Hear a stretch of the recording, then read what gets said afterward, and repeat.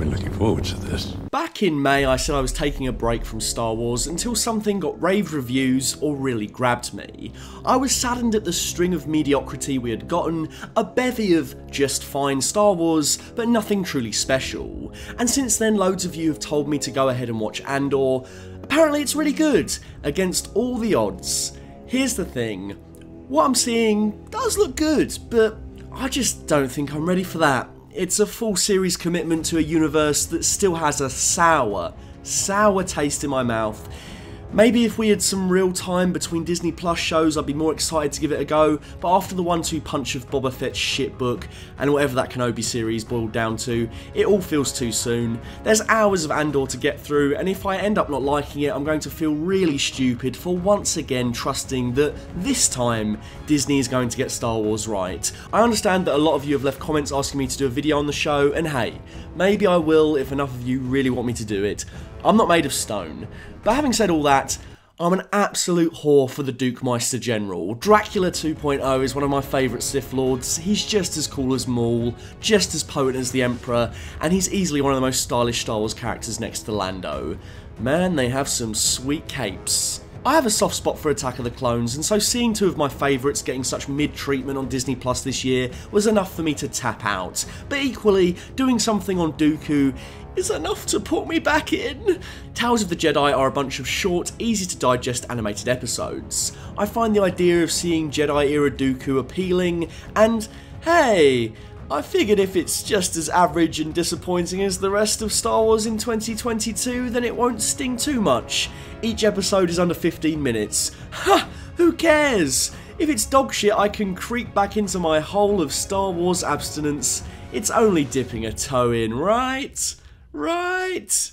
As a guy who didn't follow any of the marketing for this series, I thought it was a proper anthology with a different Jedi leading the story in every episode, so I was only expecting at most one Count Dooku episode, not three. The structure of this trilogy is really nice. It begins with Qui-Gon under Dooku's wing and ends on the day Dooku learns of Qui-Gon's death at the hands of Darth Maul. The three episodes chart Dooku's fall to the dark side and his transition from Jedi to Sith Lord. It's cool that we now have what is essentially Dooku's Revenge of the Sith in animated form. The first two episodes see Dooku forced to wrestle with the corruption of the Republic, and he sees firsthand how the poor constituents are treated by their powerful, rich, out of touch senators. Much like Anakin, his will to help those who are helpless is admirable, but in order to serve justice to those people, he all too easily falls into the same tactics of aggression employed by their oppressors.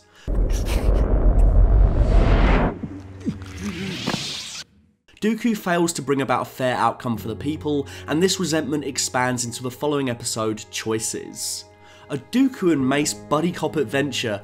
Are you kidding me? I would have liked to see them get stuck into a little bit more of an adventure, but that's not really what this little trilogy is about. In lieu of spectacle involving these two immensely powerful Jedi, we get an essential beat in Dooku's fall. Your devotion to rules is sometimes inspiring and sometimes maddening.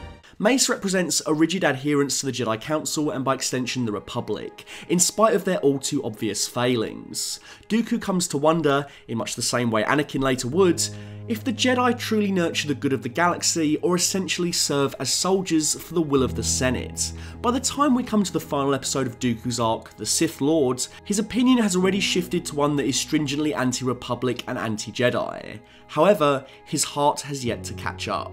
I love the relationship he has to Qui-Gon in these shorts. Dooku's independence, his willingness to question the order of things, is what leads him to become a Sith Lord, but it is also what leads Qui-Gon to become a more unorthodox Jedi. Qui-Gon is surely his master's apprentice, and without Dooku in the timeline, Qui-Gon would have never have had the vision to insist Anakin be trained. It's here in these episodes that Dooku's perspective comes to mean so much for the larger story of why the Jedi failed Anakin Skywalker and brought about their own downfall. My favourite moment is when Dooku laments how, as a boy, Qui-Gon was enamoured with the Great Tree. He knew nothing like it.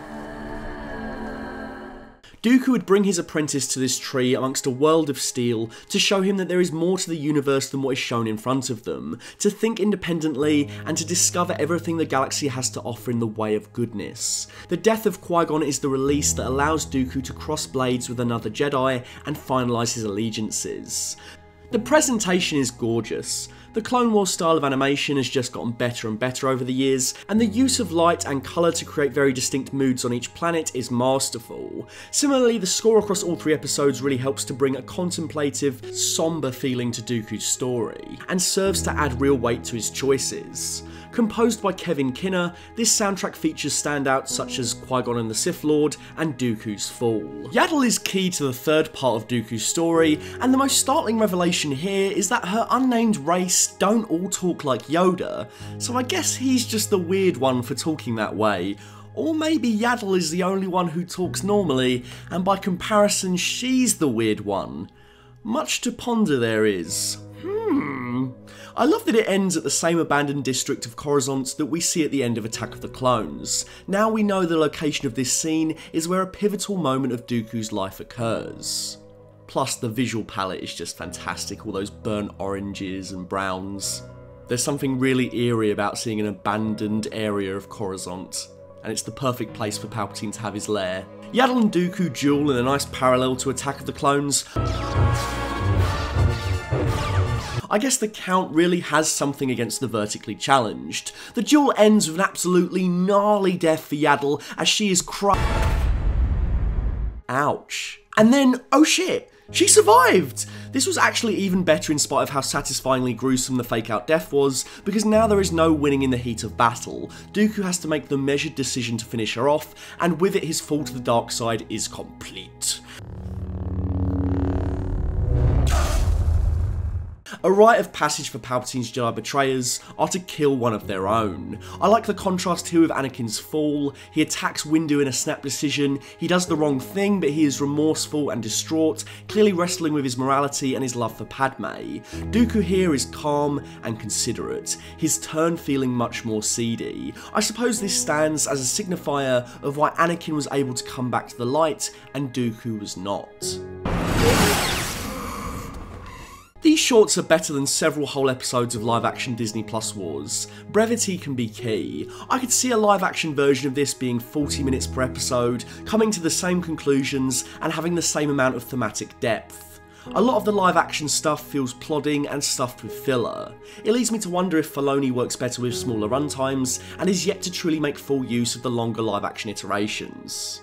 So Disney may have screwed up the return of two Attack of the Clones goats this year, but at least they got it right with a third. Count Dooku, once performed by the late great Christopher Lee, continues to find new life in Corey Burton's wonderful performance, and it was a real treat to get a neat and well realised story with the character.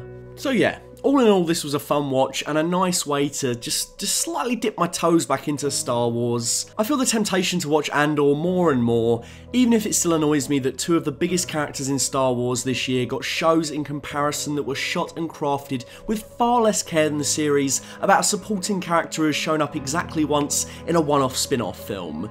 But I guess that's the way the cookie has crumbled. Even the Andor trailer is more visually satisfying than all of Fett and Kenobi, bar possibly Bryce Dallas Howard's episode. How did it come to this? Kenobi in particular should have been a really polished experience. We were waiting for that for years.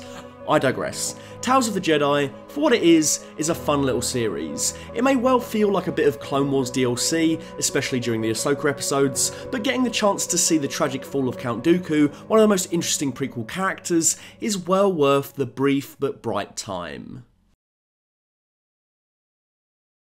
A big thank you to my full fat tier patron, Dr. Chike. If you'd like to donate money to my Patreon, you can find me at patreon.com slash fullfatvideos. If you'd like to find me on Instagram, you can find me at full underscore fat underscore videos. And if you'd like to find me on Twitter, you can find me at, you guessed it, at full fat videos.